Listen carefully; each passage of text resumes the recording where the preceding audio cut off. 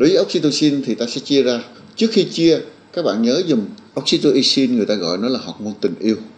Như vậy, khi một người nam mà cái thích tình dục đạt đến mức thiên đường hay còn gọi là orgasm, người nữ cũng vậy, khi đạt orgasm, thì tự động sẽ được tiết oxytocin ra.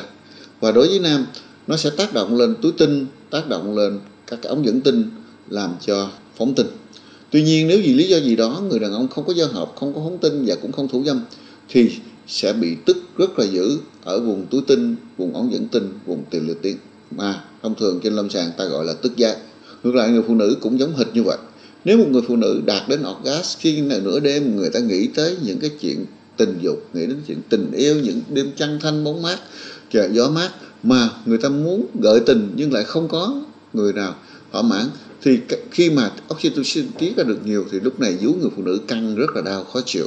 Và tử cung cũng sẽ bóp nhịp nhàng, khó chịu. Nếu có được kích thích thì lúc này người ta sẽ thỏa mãn. Còn nếu không, người ta sẽ cảm thấy rất là phiền toái, cuộc sống rất là không có không có dễ chịu.